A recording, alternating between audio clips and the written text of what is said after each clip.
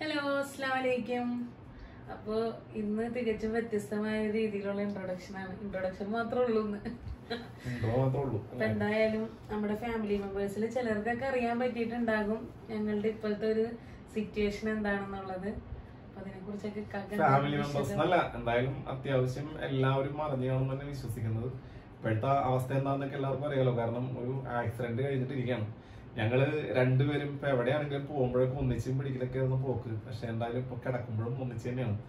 അപ്പോ വേറെ ഒന്നുമല്ല ഇതിനകത്ത് ചിലപ്പോ വ്യത്യസ്തതകൾ ഇപ്പൊ തന്നെ ആക്സിഡന്റ് ഉണ്ടായത് എന്നാണ് ഈ മാസം ഒന്നാം തീയതി ആയിരുന്നു ഇന്നിപ്പോ ഇരുപത്തിമൂന്നാം തീയതി ആണല്ലോ ഇരുപത്തിമൂന്നാം തീയതി ഇരുപത്തി ഇരുപത്തിരണ്ടാം തീയതി. ഇരുപത്തിരണ്ടാം തീയതി.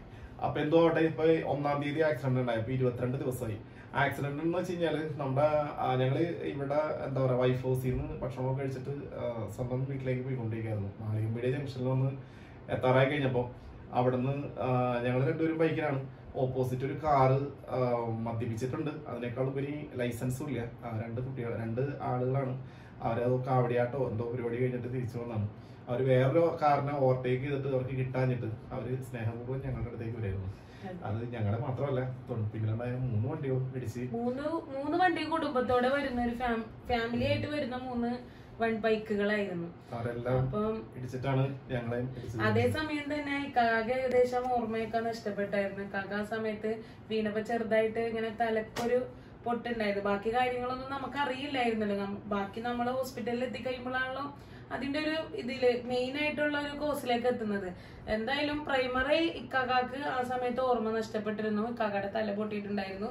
ചെറുതായിട്ട് ബ്ലീഡിങ് ഉണ്ടായിരുന്നു തലയിൽ. എനിക്ക് ആക്സിഡന്റ് ഉണ്ടായത് തന്നെ നമുക്ക് കൃത്യമായിട്ട് അറിയില്ല. എന്തായാലും ആക്സിഡന്റ് ഉണ്ടായി. അവിടെ നിന്ന് കുറെ പേര് ഹോസ്പിറ്റലിൽ കൊണ്ടുപോയി. അതിനേക്കാൾ ഉപരി കാരണം വെച്ചാൽ ചിന്ന അവിടെ കിടക്കുമായിരുന്നു താഴെ കിടക്കുന്ന സമയമായിരുന്നു. നമ്മുടെ സ്വന്തത്തിൽ അതായത് വൈഫിന്റെ സ്വന്തത്തിൽ തന്നെയുള്ള ഒരുപാട് പേര്. അതിപ്പോ പേരുണ്ട്. തലക്ക് ഇത് പറ്റിയായിരുന്നു ഇക്കാകാനെ സഡൻ ആയിട്ട് തന്നെ ഒരു ഹോസ്പിറ്റലിലേക്ക് ഉണ്ടായിരുന്നു ഞാനെന്ന് പറഞ്ഞിട്ടുണ്ടെങ്കിൽ എനിക്ക് കാലിനായിരുന്നു. എനിക്ക് അപ്പോഴേ അറിയായിരുന്നു എനിക്ക് ആ സംഭവമൊക്കെ എന്തായാലും കൃത്യമായ ഓർമ്മയുണ്ട്. പക്ഷെ എനിക്ക് കാലിന് പറ്റിയത് കൊണ്ട് അത്രയ്ക്ക് അങ്ങോട്ട് വേറൊന്നുമല്ല. കകാൻ എന്തായാലും ഒരു എമർജൻസി ആയിട്ട് കൊണ്ടുപോകണമായിരുന്നു ആ ടൈമിൽ എന്നെ അതിന് ശേഷം ഇവിടെ കൊണ്ടുപോകുന്നു അപ്പൊ അതിന് ശേഷം കൊണ്ടുപോകാനായപ്പോഴേക്കും ഇക്കാകാനെ കൊണ്ടുപോയ ഒരു ടീം പോയി കഴിഞ്ഞപ്പോ പിന്നെ അവിടെ മൊത്തം ലേഡീസ് ആയിരുന്നു. കൂടിയവരിൽ അത്യാവശ്യം പേരും. എന്നിട്ട് എന്തായാലും ഹോസ്പിറ്റലിൽ എത്തിച്ചു. കൊണ്ടുപോകാനും പിടിക്കാനൊക്കെ വന്നത് നമ്മളുടെ സ്വന്തത്തിൽ തന്നെയുള്ള ആളായിരുന്നു അവിടെ ചില അവരുടെ പിന്നിൽ വണ്ടി ഉണ്ടായിരുന്നു ടോർസ് അപ്പൊ അവരാണ് വന്നത്. എന്തായാലും ആദ്യം ആരോത്തുഴി ഹോസ്പിറ്റലിൽ കൊണ്ടുപോയി. ആ, ഒരു ഇതിന്റെ എന്താ പറയുക ഇവന്റിന്റെ ഒരു വിട്ട് കൂടുതലായതുകൊണ്ട് തന്നെ അത് മെഡിക്കൽ ടെസ്റ്റിലേക്ക് കൊണ്ടുപോയി വന്നു. മെഡിക്കൽ ടെസ്റ്റിൽ ചെന്ന് കഴിഞ്ഞപ്പോൾ ആദ്യം തന്നെ എന്റെ സി ടി സ്കാൻ എടുത്തത്. കുഴപ്പങ്ങളൊന്നുമില്ല. പിന്നെ ഒരുപാട് പിച്ചും വേഗം പറഞ്ഞു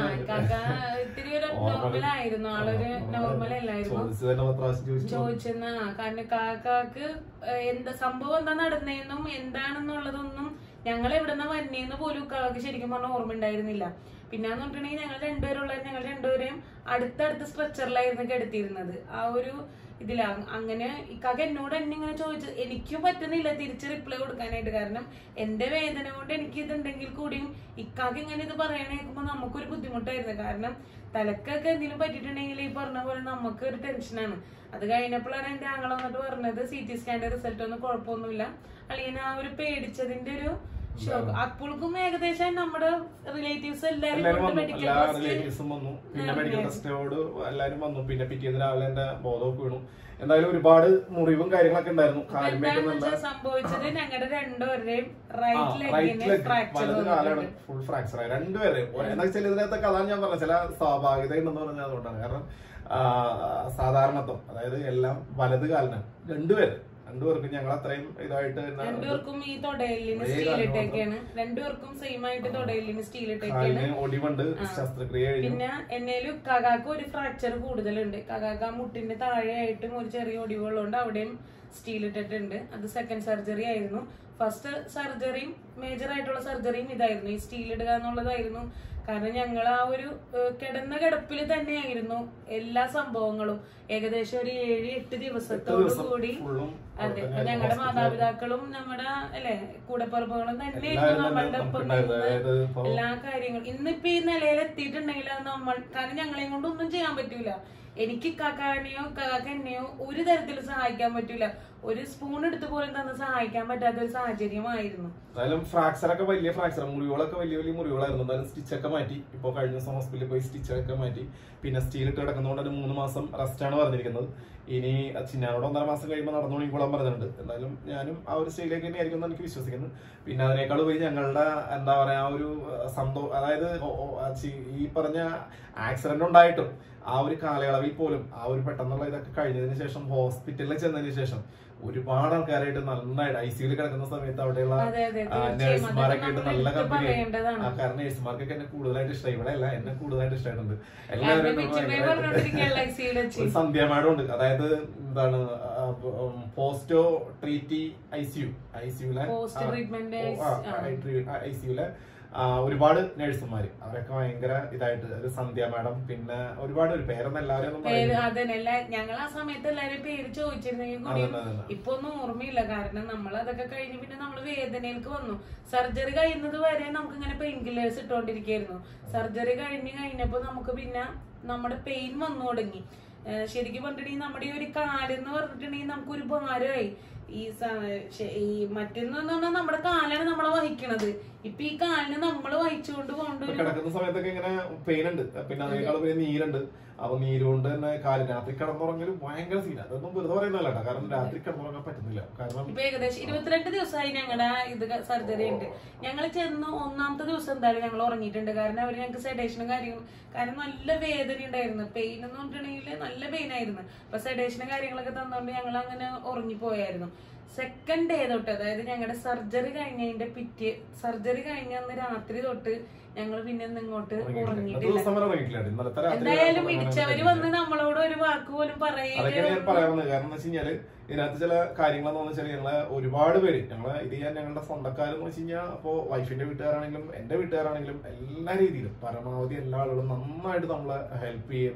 അവരൊക്കെ പിന്നെ വിസിറ്റേഴ്സ് വിസിറ്റേഴ്സ് എന്ന് വെച്ച് കഴിഞ്ഞാൽ എല്ലാ ദിവസവും ഉണ്ട്. ദിനം പ്രതി ഒരുപാട് ആളുകൾ വരുന്നുണ്ട്. പക്ഷേ ഇതിനകത്തൊക്കെ ഏറ്റവും പ്രധാനപ്പെട്ട ഒരു കാര്യം വെച്ച് കഴിഞ്ഞാൽ വണ്ടി ഇടിച്ച ആളുകൾ വണ്ടി അടിച്ച ആളുകൾ ഇപ്പൊ ഇന്ന് ഞങ്ങൾ കിടക്കുന്ന ഈ സ്ഥലത്തിന്റെ ഏതാണ്ട് അടുത്തടുത്ത് തന്നെയുള്ള ഉള്ള ആളുകളാണ് നമ്മളത് കിലോമീറ്റർ നമ്മളത് അവരിവിടെ തന്നെയുള്ള ആൾക്കാരാണ് പക്ഷെ അവർക്ക് നമ്മളോട് പ്രത്യേകിച്ച് ദേഷ്യം ഉണ്ടായിട്ടൊന്നും അറിയില്ല. ആ, അവരുടെ വണ്ടിയുടെ ബുക്കും പേപ്പറൊക്കെ ഒക്കെയാണ് ഇൻഷുറൻസിന് കേസൊക്കെ കൊടുത്തിട്ടുണ്ട്. പക്ഷെ അവരെ വേണമെങ്കിൽ ഒരു വാക്ക് വന്ന് അവർക്ക് ആരാന്നൊക്കെ അവർക്ക് ഐഡന്റിഫൈ ചെയ്യാം. ഒരു വാക്ക് വേണ്ടി പറയാം. പക്ഷെ എന്തൊക്കെ പറഞ്ഞാലും അവരുടെ കയ്യിൽ ഒരു തെറ്റുണ്ട്. കാരണം അവരിലേക്ക് ലൈസൻസ് ലൈസൻസ് ഇല്ലാതെ ഓടിക്കുന്നത്. മദ്യപിച്ചിട്ടുണ്ടായിരുന്നു. അപ്പൊ അതൊരു ഒരു ഫാമിലി ഇപ്പൊ ശരിക്കും പറഞ്ഞിട്ടുണ്ടെങ്കിൽ ഞങ്ങൾ രണ്ടുപേരും അടങ്ങുന്ന ഒരു ഫാമിലി ആയിരുന്നു. അത് സത്യം പറഞ്ഞിട്ടുണ്ടെങ്കിൽ സീറോയിലേക്ക് എത്തി. എവിടെയാണോ നിന്നിരുന്നത്? സീറോയിലേക്ക് എത്തി.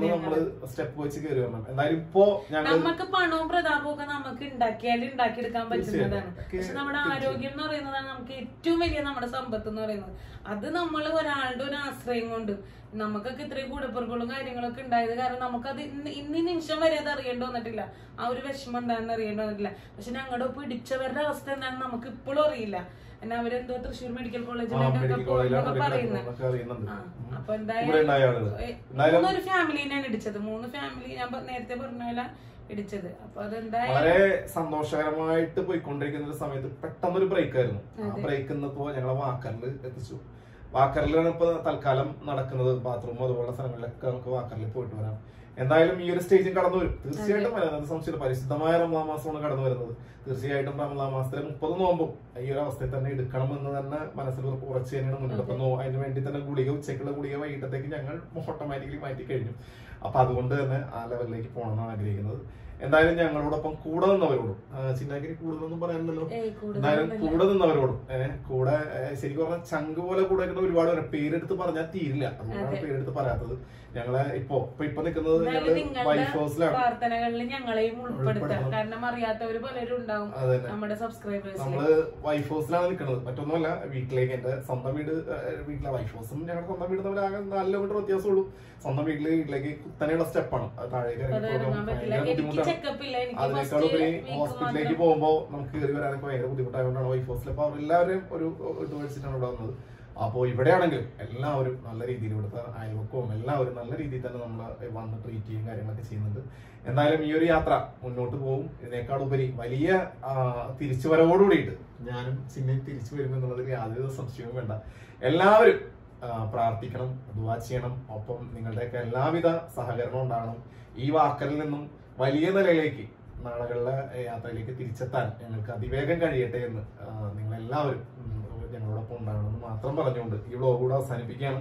എന്തായാലും ഈ ഈ കെട്ട കാലത്തുള്ള ഈ വ്ളോഗ് എവരി കാണുന്നതോടൊപ്പം തന്നെ സബ്സ്ക്രൈബ് ചെയ്യുക ഷെയർ ചെയ്യുക അല്ലേ? വീണ്ടും ഞങ്ങൾ തിരിച്ചു വരാൻ വേണ്ടി പ്രാർത്ഥിക്കുക.